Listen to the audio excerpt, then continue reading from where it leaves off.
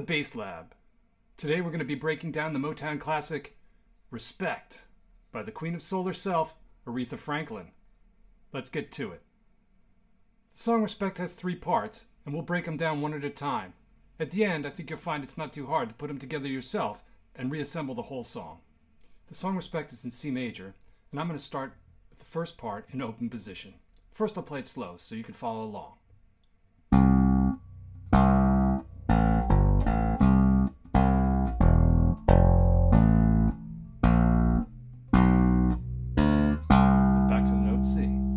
Let's take a look from the right hand perspective.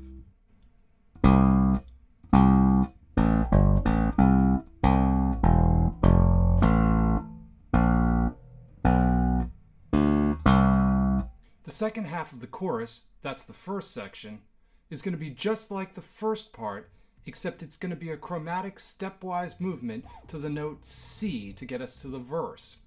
It's going to look something like this at the end. Notice I move positions into second position too. So let me play it up to speed and you can see how the whole chorus looks. Now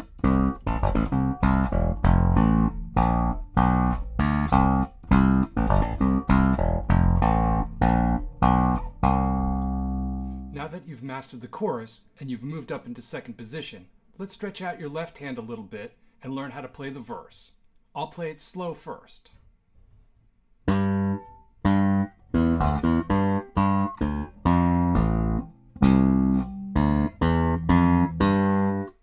Let's look at that from the left hand perspective and the reach involved.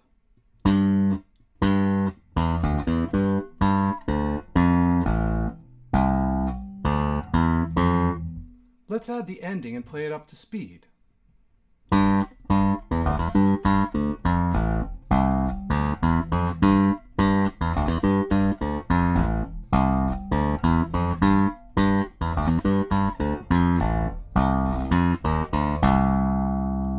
Us back into the chorus in first position.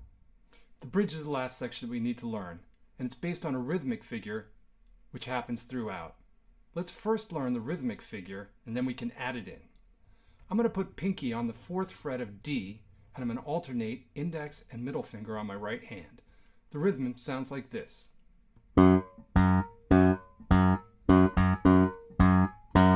Let's look at the right hand of that.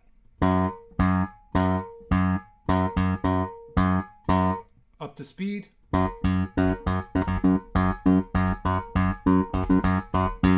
Practice that first. Once you've gotten that, let's add the real notes. Slowly, the section's going to sound like this.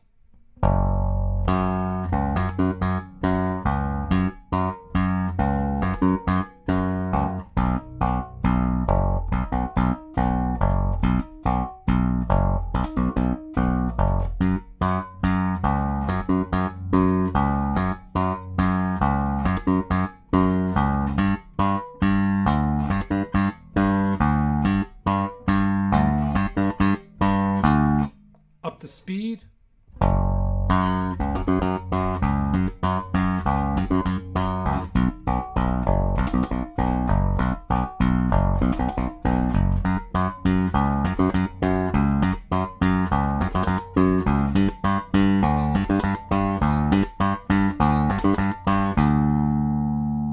Hey, I hope you enjoyed this lesson and maybe even learned a little respect for the Queen of Soul herself, Aretha Franklin. When you get good at this song, try go to the playlist section and play it along with the original recording. Good luck.